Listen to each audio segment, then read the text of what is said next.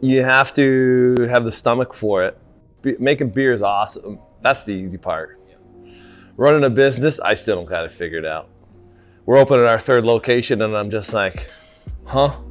But if I could give someone advice, like it, um, you know, follow your dreams, you know, because um, the goal of this thing was not to make uh, money, really.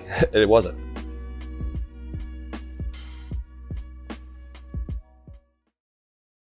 Awesome. So, welcome to another segment of the Faces of Syracuse. Uh, today, we have the pleasure of sitting down with Mr. Timothy Shore of the Buried Acorns Brewing Company. Uh, I believe we have a really good segment here today. Excited to get into it. So, with that being said, uh, we can jump into the very first question. So, Tim, of course, you grew up in Syracuse, um, had access to breweries such as Genesee and Saranac. Uh, give us some information about how the local beer scene in central New York, also Dogfish down in Delaware, kind of inspired you to do what you're doing today.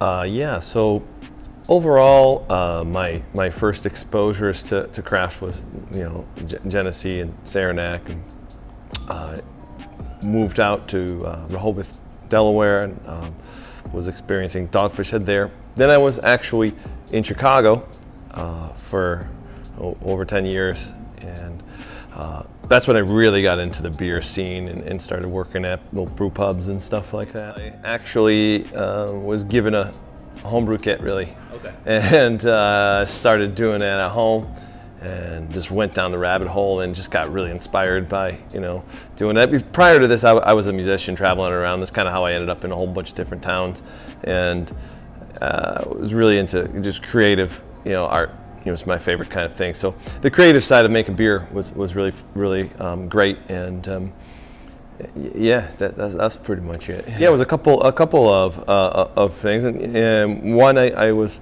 uh, I really wanted to, to, raise my family here. Uh, I have a lot of family here, whereas my wife, Crystal, does not really have a lot of uh, uh, family there because they had all kind of, they had all moved away from Chicago.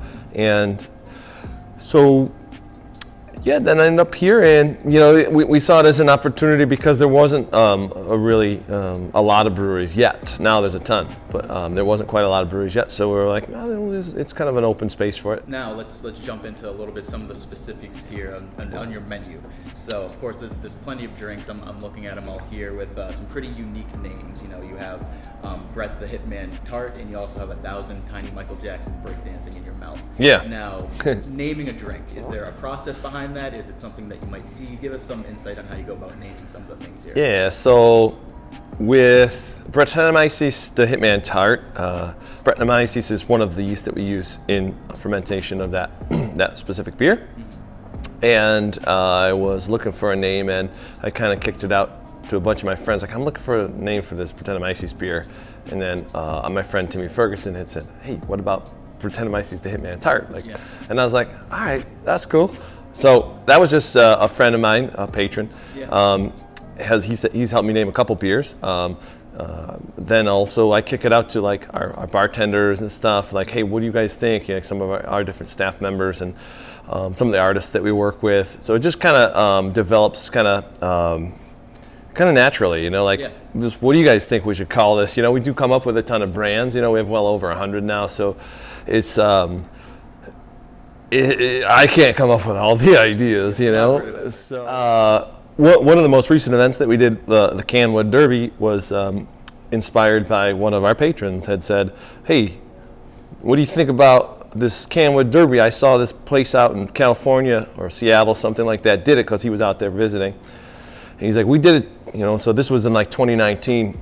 He come up with the idea, and then we're like, "All right, cool. We'll do it. We'll do it next spring." Um, and then pandemic happened, right? So we didn't do it for you know two years. It just got put on the back burner. Um, and then uh, we were finally able to. My wife was able to organize it and get it going. Um, but um, you know th- those ideas that basically the same as the names. You know they just kind of come from like our, our, community. Beer community is real tight. You know, real people are. You know they, they come here and then for, they forever come here. For, so um, you have to have the stomach for it. Um, because craft be- making beer is awesome. That's the easy part. Yeah. Running a business, I still don't got it figured it out. We're opening our third location, and I'm just like, huh? I don't know how to do any of this. I really don't. Uh, my wife recently come on last November to uh, to help you know with the business side of things because I'm great at making beer. That's it. You know, I come up with cool ideas. That's it. you know. Um, business thing is it's a monster man. It's, it's so complex and it's so expensive. It's uh, the the budget and everything just blown out. Like just it's but if i could give someone advice like it um, you know follow your dreams you know because um, the goal of this thing was not to make uh, money really. It wasn't. It was to have like a, a you know happiness and like a lifestyle that like my wife and I could come and go as we please almost. You know, I mean, obviously we have responsibilities, but you know, with a family, you know, if I got to go nine to five and she's got to go nine to five now, our kids are in daycare and what, you know, it's just, it, we weren't really keen on that structure. And, and now that we are um, to the point where we're opening our third location, sure, there's a lot more work, but you know, we've got a great team, you know, like, and, and uh, we're able to uh, manage our lives a, a lot better. Um, and uh, it really is uh, about that that more than anything you know uh, i want people to feel like they're a part of it because i mean i always knew the beer community was like you know super like tight and like people like that like your product. They're like they come and they they you know patronize and they do you know they they, they you know becomes a part of their life you know? I think that is how I want people to feel. And, and when, I, when we opened this place, it was kind of caught off guard by how people actually um, like like like just dedicate three days a week to just come here and hang out and embrace it. Yeah, yeah, yeah.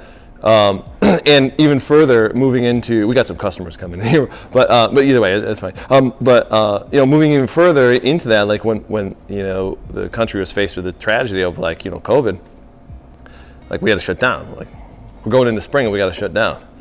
And in the spring, in March when we shut down, I got 10,000 gallons of beer. I'm ready to move out into all the bars and like we're ready to roll. It's a lot of freaking beer. we sold it all because everybody just ordered online come and pick up curbside. We did deliveries for like, I think I did deliveries for like a hundred something days straight. Basically, the whole time, the entire time, we weren't allowed to be open, even outside or inside. Um, my kids being homeschooled, myself driving, they're in the back, and I'm helping them with their homework as I'm delivering beer all around town. And, and like, we had two guys delivering, and it was really like, I was without words about like how like that portion of community. Hi. Come on in. We're doing a little interview. You want to be in it? Come on. okay. Well, right now, is this your very first time here? Oh, no, it's not. Okay. So, but if it were, um, I'd say buy the Ukraine beer. Um, yeah, tell we have, a little bit about that. Yeah. So uh, we, we did a little collabor- collaboration with uh, a whole bunch of breweries in there. Basically, every single brewery in Central New York um, kind of got together and uh, brewed a beer at Meier's Creek. Um, they have probably, you know, they have the biggest facility in the area and uh, made a gigantic batch of this beer.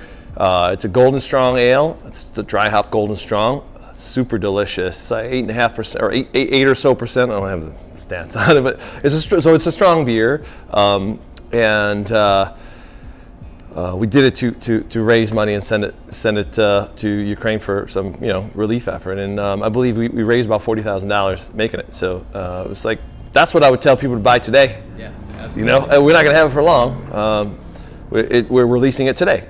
One of the things about brewery community, and in this community uh, specifically, and, and, and even back in Chicago, is everybody is very into tithing. You know, everybody gives back to the community because the community is so so good to us. You know, that's kind of like there's always charity. You know, Absolutely. I'd never say no to charity. That's great. My, my, my, wife, who's the business manager, sometimes gives me a kick, but but yeah, I always I'll send it whatever give them what they want. You know. No, that's great. That's great. That's very good to know. Well, well, Tim, with that, you know, I'd say we really appreciate you taking the time with us and, for sure. and learning a little bit more about your story. It's really good to hear. Um, you know, and for those watching, you know, we hope you enjoyed learning about Tim's story as much as we did. Um, if you have any suggestions for nominees on future segments, uh, please head over to thefacesofsyracuse.com and check out the segments that we've already done, who are the prominent faces in Syracuse.